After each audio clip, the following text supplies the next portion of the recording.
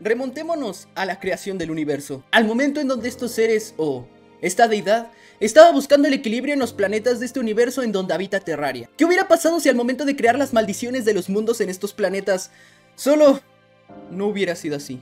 ¿Qué tal si encontrábamos el equilibrio en unos seres casi inmortales que pudieran ayudar a los seres vivos de cada planeta, teniendo armonía entre ellos y así prospere la vida? Bueno, ya sabemos qué habría pasado, porque en un universo alterno esto ya sucedió y al parecer la historia de Terraria se volvió una calamidad. Donde la lucha por el poder ha sido una constante en este planeta, la traición, el egoísmo y la sed insaciable de control, al igual que nosotros como protagonistas no escapamos de estas descripciones ya que velamos por nuestro propio ego, buscamos el poder y el control que tiene el ser más fuerte de este planeta solo por un capricho.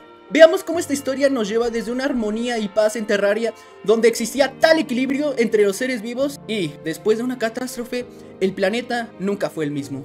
Quédate a ver la historia de Terraria en Calamity. Todo comienza en un universo alterno de nuestro mundo, Terraria, donde la experimentación de los creadores del universo había rendido frutos y la evolución de las especies había dado como resultado la raza más fuerte y poderosa del mundo, la que se encargaría del equilibrio y su protección, los dragones. Estos seres tan fuertes y majestuosos que podían ser confundidos con los mismísimos dioses y ser venerados, pero no era para menos. Estos dragones mantenían la paz en el mundo. Las criaturas, inteligentes o no, trabajaban en un conjunto para beneficio mutuo gracias a la guianza de estos dragones. Y en este planeta hubieron varias razas inteligentes que empezaron a destacar.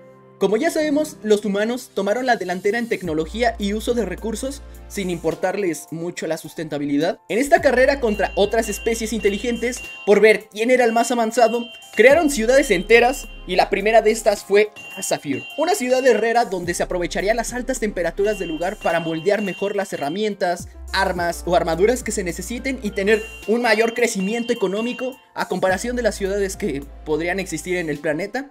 Pero Aquí hay uno de los primeros actos egoístas que se pudieron ver en este planeta. La ciudad de Asafir, al tener tantos gases contaminantes en su aire, producto de ser casi una fábrica enorme de objetos de herrería, terminaron por contaminar el océano que existía cerca de la ciudad y convirtiéndolo en un mar de sulfuro, desplazando a muchas de sus criaturas que ahí habitaban, obligándolos prácticamente a adaptarse o extinguirse, todo por el avance de las civilizaciones. No se comenta por qué los dragones, que eran guardianes de este mundo, no intervinieron al ver este tal desastre ecológico.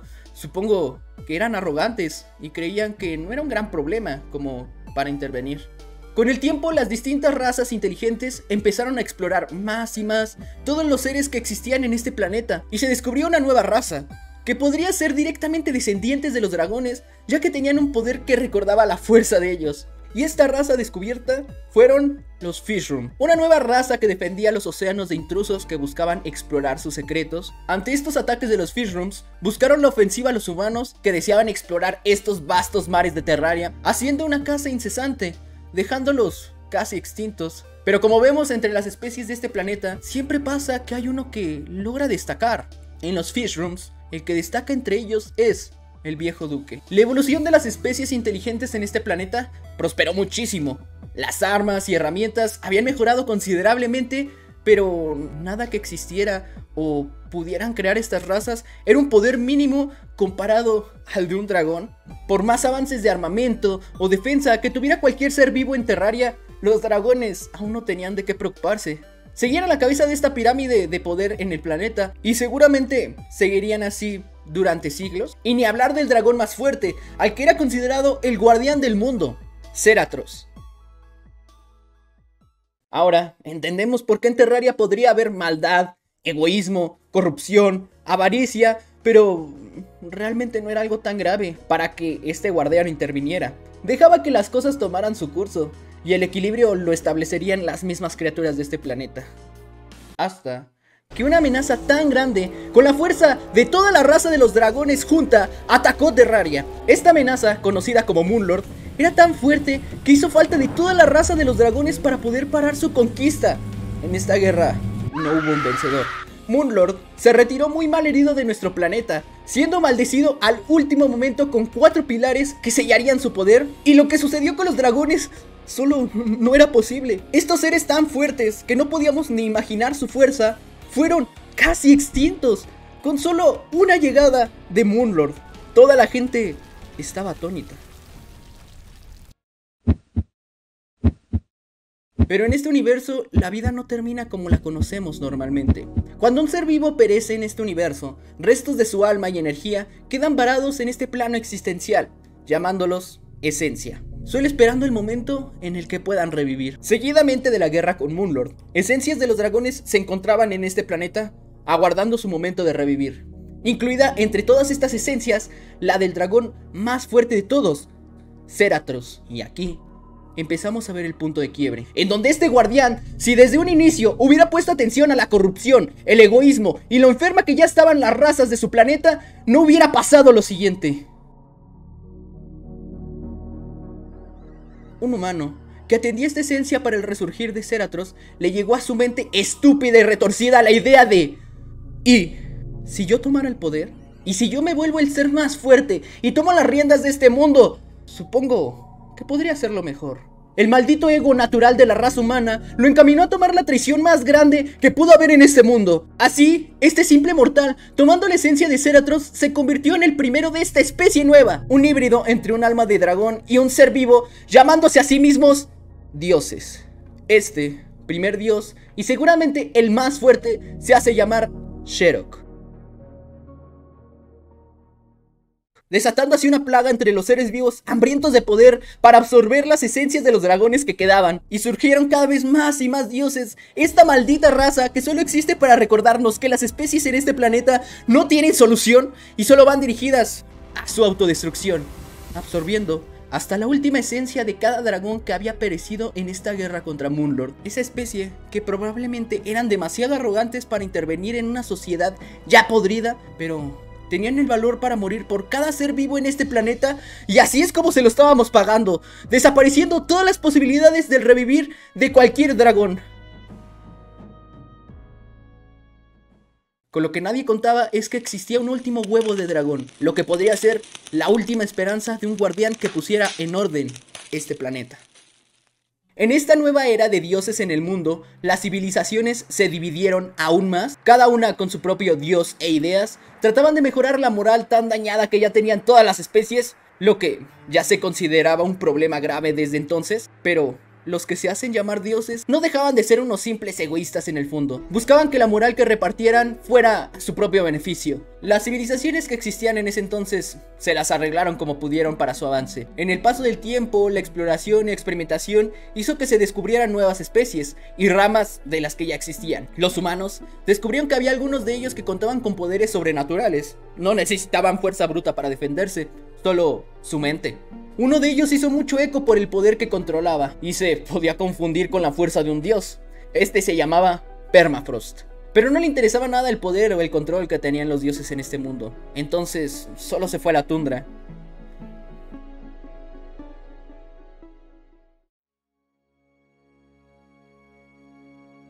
En alguna ciudad guerrera nacería un niño, que desde muy chico se notaba que tenía el potencial para ser uno de los más fuertes de su generación. Lo único malo con él es que era demasiado rebelde, tiene unas ideas muy revolucionarias y no quería seguir órdenes. No creía que los dioses siempre tuvieran la verdad y desobedecía a cada momento que su propia moral iba contra ello. El nombre de este chico era Yarim. Rápidamente fue creciendo en rangos dentro del ejército y empezó a ser visto como una amenaza por ese pensamiento tan crítico que tenía a los dioses. Yarim, en un viaje que emprendió hacia la jungla de Terraria, encontró entre los arbustos un huevo, pero él sabía perfectamente de qué era. Un huevo de dragón. La raza que llevaba años extinta tenía un último espécimen. Ante esta situación, tenía una decisión demasiado importante que tomar. Destruir este huevo, consumiendo la esencia de este dragón y convirtiéndose en un dios. O cuidar de este huevo hasta que el dragón naciera. Yarim, al ser un humano que ponía sus principios antes del poder, cuidó de este huevo y solo trató de ocultarlo. Pero las mentiras no es algo que pudiera sostenerse durante mucho tiempo. Los dioses descubrieron lo que Yarim ocultaba. Fue sentenciado a morir en la lava junto con el huevo y acabar de una vez esas ideas revolucionarias que tanto temían los dioses. En esta vieja ciudad de Asapir, Yarim se encontraba atado junto al huevo a un lado de un río de lava. Con una sonrisa de tranquilidad, los dioses lo empujaron, rieron, pensando que sus problemas de ideas revolucionarias que difundía Yarim entre sus tropas acabarían, y una vez más tendrían el control sobre su gente de una manera ciega. Yarim antes de siquiera tocar la lava ya estaba muy mal herido por las quemaduras que esta causaba, y el huevo, gracias al calor que esta lava proporcionaba, eclosionó, naciendo un dragón joven que no tenía poder para pelear aún contra los dioses, y su única opción en ese momento fue salvar a Yarim del calor de la lava y huir del lugar. Este dragón reconoció la bondad que tuvo Yarim al ser el único que se preocupó por su bienestar y el excelente guerrero que era, enlazó su esencia con Yarim para que si en algún momento este dragón muere, pudiera revivir siempre que Yarim esté con vida. Desde ese entonces, este dragón obtuvo su nombre siendo conocido como Yaron, el dragón de la jungla. El mundo, como conocíamos Terraria en ese momento, estaba a punto de cambiar. La era de los dioses, la maldita dictadura que tenían sobre todos los seres vivos que existían, iba a terminar de una vez por todas. Yarim reclutó a todos los seres vivos que quisieran un cambio en este mundo, que fueran en contra de la tiranía de los dioses y su maldito control sobre todo. Le declaró la guerra a cualquier dios que haya absorbido la esencia de un dragón. Sea bueno o malo, son parte de esta maldita raza que solo representan la mayor traición a los dragones y nunca debieron de existir. Uno de los aliados más reconocibles de Yarim fue Permafrost, que acudió a él después de escuchar este llamado a la justicia en contra de los dioses. Así empezaron las primeras peleas contra los dioses. Cometerían graves errores al inicio. No sabían del todo cómo deshacerse de la esencia de un dios. Pero estas esencias no eran puras. Así que terminaron contaminando todo alrededor de ellas. Desgraciadamente cometieron dos veces este error. Hasta que lograron contener la esencia de un dios en un ente que les ayudaría a proteger ahora su nueva base, Azafir. Un día, al regresar de una batalla, Yarim se encontró con una pequeña niña maga. Decía que quería ser parte de las filas de Yarim para esta revolución. Aceptó que se uniera a ellos, dejándola al cargo de Permafrost, para que él le enseñara todo lo que sabía. Cuando le preguntaron el nombre a esta niña, solo les dijo Calamitas. La guerra contra los dioses empezó a tornarse cada vez peor. Derrota tras derrota, Yarim empezó a verse acorralado. No encontraba a nadie en este mundo con una fuerza suficiente que pudiera hacerle frente a tantos dioses y con esa mentalidad se hizo aliado de un alienígena. No estaba seguro de por qué estaba en su planeta o qué beneficios obtendría al pelear una guerra totalmente ajena. No era el mejor momento para las dudas. Reclutó a este extraterrestre para que pudiera aprender un poco de lo que tenía que ofrecer. El nombre de este era Draedon. Los avances tecnológicos que tenía Draedon en armamento y defensa no se comparaban al que cualquier humano hubiera visto nunca. Pero, aún con todo esto, no era suficiente para poder ganarle a los dioses. Yarin por mucha valentía, fuerza, inteligencia que tuviera, no podía ganar con sus tropas actuales a todos los dioses que existían en este mundo. La maldita derrota era inminente. ¿Cómo carajos iba a salir de esta?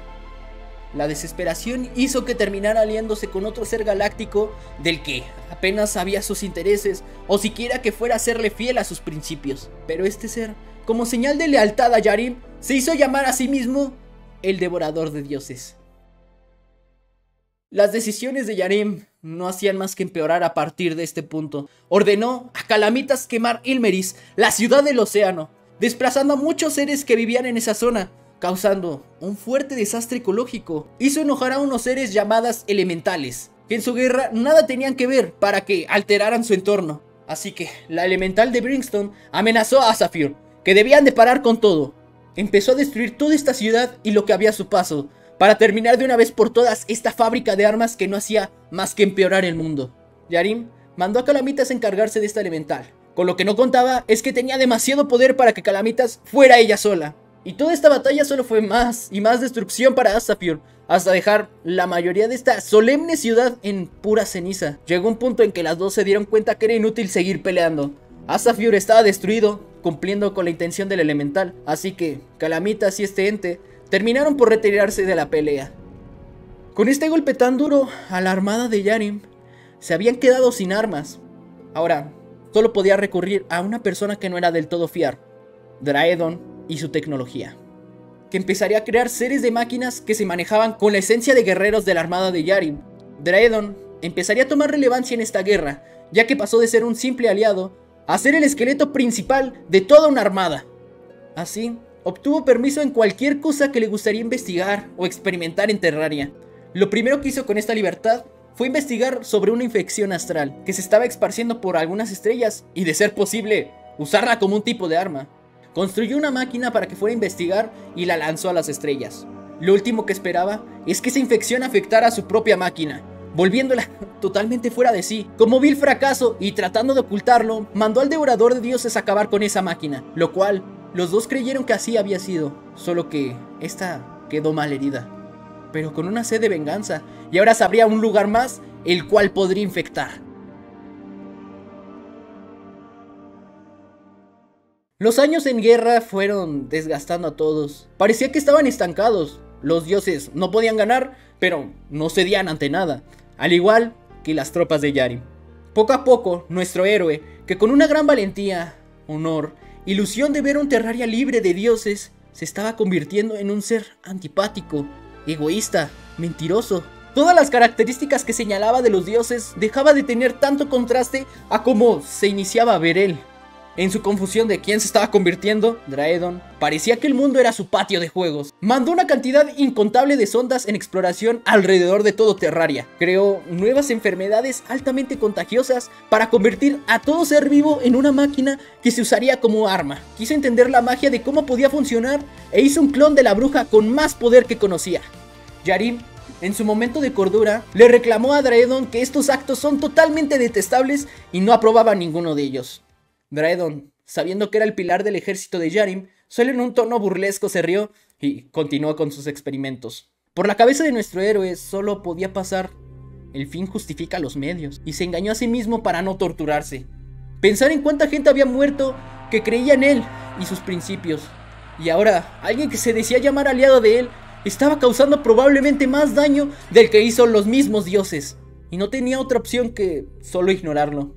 Ya había llegado tan lejos. ¿Por qué parar ahora? Al poco tiempo, Yarin pasó a aliarse con una secta que pretendía revivir a los dragones, lo cual parecía lo correcto, pero con métodos y maldiciones poco éticos, torturando y matando humanos para solo algo que parecía una fantasía. Lo peor de todo esto es que Yarin regalaba a la gente capturada de sus batallas a estas sectas, personas que al igual que él solo defendían sus principios o a veces ni siquiera eso. Estaban siendo obligados a pelear una guerra de dioses en la cual ni creían. Estos prisioneros de guerra, varios inocentes, terminaban su vida en pura tortura, confusión y rabia, que la esencia de estas personas quedó buscando venganza. Yarim, al regreso de una batalla, presentó al devoradioses con este culto, el cual ellos por alguna extraña razón este devorador les recordaba a algo que habían encontrado hace un tiempo en su mazmorra. Le mostró a Yarim una especie de portal que se había formado. El devoradioses, algo nervioso, decía que este portal lo había creado para pasar de esta a su dimensión y que solo funcionaba para eso. Yarim se dio cuenta que el devoradioses estaba mintiendo, pero prefirió ser un poco paciente y hasta descubrir exactamente para qué funcionaba no iba a intentar nada. Al regresar a su guarida, ese día sus aliados lo estaban esperando para recriminar todos los actos egoístas que había tenido últimamente. Permafrost, siendo el más directo, le mencionó que no era el mismo líder que había conocido, lleno de orgullo y grandeza. Se había convertido en un tirano más, alguien egoísta, despreciable y malvado. Ya no hallaba sentido en esta guerra. Lo que trataban de combatir en el mundo, lo tenían al frente, dando órdenes. Yarin no podía tolerar esta falta de respeto y le ordenó a Calamitas matar a Permafrost de inmediato. Calamitas dudando entre su lealtad a su comandante o el amor que le tenía al que consideraba un padre. Le había enseñado todo, todo lo que ella sabía y entre tanta presión atacó a Permafrost. Pero no como pensamos, hizo creer a Yarin que lo había asesinado. Solo lo encerró en una cárcel de hielo. Calamitas, al regresar a su momento de cordura, no pudo creer que Yarim le ordenara tal cosa y abandonó las filas del ejército. Dos guerreros que vieron este acto decidieron confrontar directamente a Yarim en una pelea por el control del ejército. Él, aceptando este duelo, tal vez pensando que esto era lo mejor para su ejército, pero el devorador de dioses intervino y mandó a estos dos guerreros a su dimensión, encerrándolos durante un largo tiempo. Yarim impotente, creyendo que el devorador de dioses los había asesinado, empezó a cuestionarse todas sus decisiones. Todo lo que hice en estos años de guerra valió la pena. todas las vidas que se perdieron. ¿Era necesario toda esta revolución o llegué hasta acá para demostrarme a mí mismo mi poder? ¿Todo esto entonces fue un acto de egoísmo? Nunca luché por un bien mayor. Entonces, ¿cuál es la diferencia de mis principios a los que puede tener un Dios? Solo es inútil continuar todo esto. Yarim habló con su gente. Solo dijo que esta guerra era un callejón sin salida. Solo terminen regresando a sus vidas. Y desapareció desde ese entonces. Los que se quedaron después de eso y aún creían en la idea original de esta revolución fueron utilizados por Dredon solo como marionetas para seguir experimentando con sus armas y su eficiencia. Al final lo logró. Creó el arma definitiva con un poder tan alto para enfrentarse a calamitas. Pero, ¿para qué quería armas tan destructivas si no pareciera que le interesara esta guerra? Un guerrero que por alguna razón su esencia se genera mucho más rápido que cualquier ser vivo en Terraria. Que aún se desconocen sus intenciones del por qué empezó a asesinar dioses. ¿Por qué parece que se abre paso a cualquier cosa que se mueva? No queda muy claro si es bueno o es malo. Solo que recuerda mucho los pasos que seguía Yarin. Parece que haría lo que fuera por terminar con los dioses. Pero por toda nuestra experiencia que hemos sabido a lo largo de esta historia, el poder en este universo tiene algo particular. Te vuelve egoísta, alguien malo. Por mucho que tus intenciones sean buenas, termina siendo igual que el resto. Y esto, Yarim lo sabe. A lo largo de todas tus peleas, Yarim fue viéndote desde la distancia, enviándote cartas, contándote todo lo que pasó antes de que tú llegaras. La última carta de Yarim, al final de tu travesía, solo es una felicitación por haber llegado tan lejos. Pero es hora de que te detengas. Busca la tumba de luz en la cima de Airy Dragon. Ahí te estaré esperando. Y aquí termina por el momento toda la historia de este universo paralelo de Terraria. Es una historia épica que me dejó pensando en que no todo debe tener un final feliz. Pase lo que pase a continuación de este lore, no va a terminar bien. Si Yarim gana, el mundo de Terraria en este universo va a seguir su curso tal cual está, y los dioses, esa raza tan detestable, no dejarán de gobernar. Y si nosotros ganamos, sabemos que nuestro destino es terminar siendo unas personas egoístas, corruptas y podridas por el poder. Supongo que te da una pista de este final el nombre de la misma historia. Al parecer es algo inevitable en este mundo, pero ¿esas características por el poder no les recuerdan a una realidad que ustedes conocen? ¿Una realidad en donde la apariencia, el egoísmo y el engaño no es el pan de cada día? ¿Una donde al parecer la fama y el poder hacen cambiar a las personas buenas en algo totalmente irreconocible? Mm, claro, demos gracias que este es un videojuego. Pero la verdad, ¿qué tan alejados estamos de eso? Reza porque en este momento no haya alguien vendiendo tu futuro a una empresa extranjera en tu país. Pero esta historia también nos enseña algo. A veces los reflectores del protagonismo están en la persona equivocada, porque al parecer hay gente que teniendo muchísimo poder logran ser incorruptibles. Claro, esto es solo una historia, pero a veces me gustaría que estas pequeñas esperanzas que existen al leer o escuchar una historia pudieran existir en esta realidad y no termine siendo todo una calamidad.